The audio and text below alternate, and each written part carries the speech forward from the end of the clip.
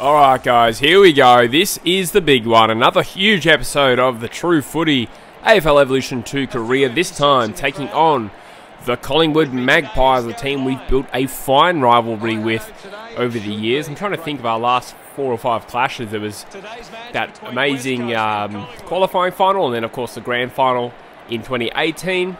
We had two good clashes in 2019, one of them one of which Collingwood won by a point. And then to start this season, or in the middle of this year, Collingwood beat us with a final kick of the game at the MCG to win by about four or five points. I think it was four points in the end. So, a huge rivalry here built on mutual respect, and it's likely these two teams will be the top two teams going into the finals, and potentially this could be a grand final preview. Collingwood look primed. This could be their year after a few years of uh, disappointment, particularly 20 obviously 2018 losing the grand final, but 2019 I reckon they'll really regret losing in the dying minutes to the Giants, and uh, this may be their year yet. So, the Eagles have some unlucky news on the suspension front. This time, Nic Naitanui has been suspended for two weeks for rough conduct. So those are the final two games of the home and away season, and he's replaced in the selected side by Nathan Vardy. But other than that, oh no, actually no, that's not true. We also have Tom Barrass coming in for Harry Edwards. So some experience in, some experience out. Either way, it's a strong team. Let's get into it, boys and girls. The game is underway. Taps it down. A chance for Grundy. Gives it to Cox. Oh, straight from the centre. Mason Cox with a very, very good goal, I must say. That is a devastating blow to start the game for the Eagles. Great burst of speed there from the star midfielder, but Collingwood's Brodie Grundy wins it back. They're surging forward again. He evades the tackler. Who is that? That was a bloody good goal from Dayne Beams, who's made a shock return to AFL football later in this season. That was ripping goal. The Eagles really need a settler. Oh, Andrew Gaff has hesitated. It's probably going to cost them a goal too. Collingwood have three on the board. Geez, Stephenson now marks. Can he launch from inside 50, from outside 50 rather? He can't. Although, don't tell me. That is for Travis Varcoe from long range on his left. The Eagles have not responded at all this quarter. Oh, don't tell me they're going end to end. They are. Chris Mayne with the diving mark over his opponent, Brad Sheppard. The Eagles' defence has not been able to repel a single inside 50, I don't think. Collingwood have been precise with their ball movement. And this is mimicking the grand final of 2018. This time, do the Eagles have the response? Or are Collingwood not going to let it slip this time? Oh, got shepherded there cleverly. Oh, the ball spills free, and Collingwood are going to run into another open goal.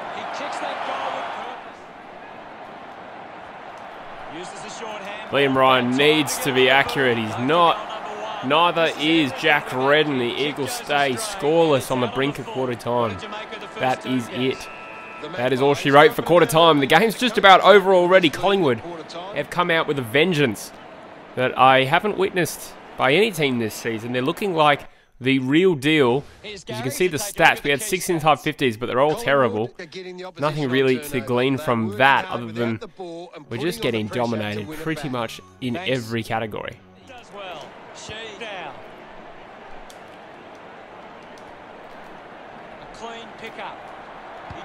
Tim Kelly finds an uncontested Oscar Allen. The Eagles start. Can they start well? Start the quarter well is what I'm trying to say think I've missed. Oh, that hurts.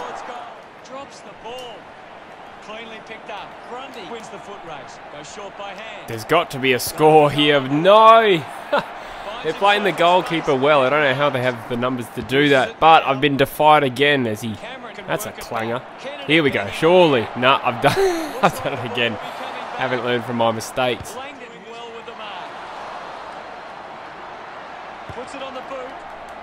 Oh, this is embarrassing. Don't know if we've actually had a spoil in our defensive 50 throughout this whole game, which has been not the only difference, but a big part of why they're 51 points up. Surely. Finally! And that's one of my first marks of the game, I reckon. Certainly the first in a semi-contested situation. Liam Ryan should put this through for the Eagles first.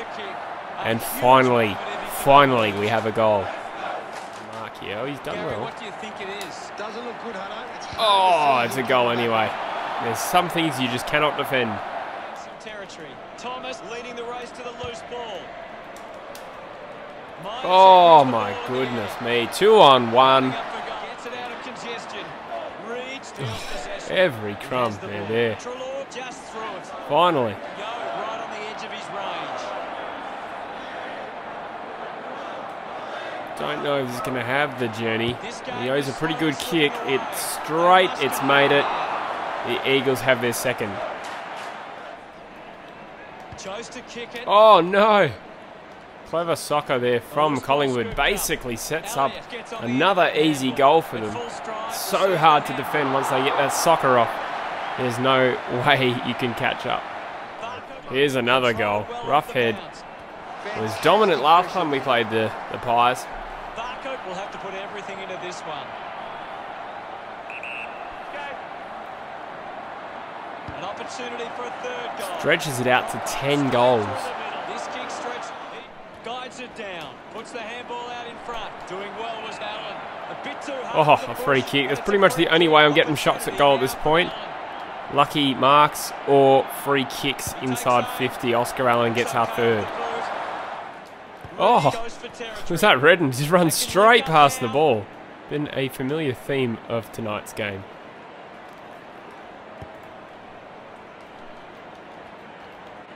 Archie gains possession. finding This the ball with will probably not go through. Needs a good sock off the ground. Redden's got it. The Eagles have two in a row for the first time. there to stay on top. Ball spills. Thomas. Hurry kick. Jenner contests the Oh no. ball. He goes for broke. Barker Damn, too quick. Goal in the middle to resume play. Big thump from Grundy. Needs a oh, bit of a Oh, oh no. Straight out of the centre. There is literally no way to defend that. Opportunities could make a big And Mihocek's to going to line up for another one.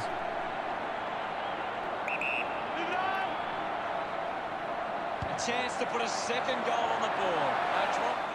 The ball spills. The ball spills Ryan. Kelly collects the loose ball.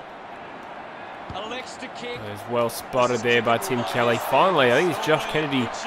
This could be one of his first possessions of the game. I don't think he's touched the ball yet, and it's the fourth quarter.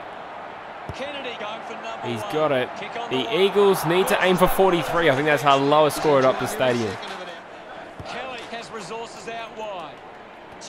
Oh, good mark there from Jetta. Is he going to find Ryan? Oh, Ryan, stop running. Oh, it doesn't matter. Jarrod Cameron is taking the mark. Good opportunity for West Yeah, that's been sort of the story of tonight. I've spotted a good lead, and he stopped running. The Eagles going to get two in a row again. Massive kick here. They need to convert this opportunity. Now, Cripps looks in need of a spell. Vardy is streaming past and gets the footy. Puts boot to ball. Allen grabs that one. Might be too far out to score. Be a challenging kick for Allen. He's done all right tonight in a night where forward 50s are very hard to come by, inside 50s rather. I think that's his second. The Eagles avoid their lowest score at Optus Stadium, and suddenly the score doesn't look quite so heinous with a silent H. Archie slick with the hands. Duggan needs to put this through. He does. The Eagles cut the margin to 40 point. Nowhere near enough time to really challenge in this game, but it helps percentage. Great pressure there from the Eagles forwards. Where was this throughout the contest? Oh, that is great play from Oscar Allen. Eagles quite a flat track bullies at the moment because Collingwood have well and truly put the cue in the rack, and this is going to cut the margin back to five goals. Kennedy delivers with a straight drop. Deliberate out of bounds play. That is controversial. Marks all along. Probably the worst call I've seen on this game, actually defensive 50. He's getting a lot of the ball gas. Get up. Oh, that should go through. He's done it. Stopped on a dime. Collingwood really have stopped here. Cameron with a good centre clearance there. Oh, no way. Oh, nearly with another ripper goal. The Eagles are starting to show a bit of class here. Obviously not enough time to, to really put pressure on Collingwood. Kick away. Good Oh. Brody Mihocek has given Tom Barrass an absolute bath today. I don't know if Barrass has won maybe more than one contest against him. Such is the class of Mihocek. He's put it through. It's back to 31 points. He delivers goals for it. Williams won the tap.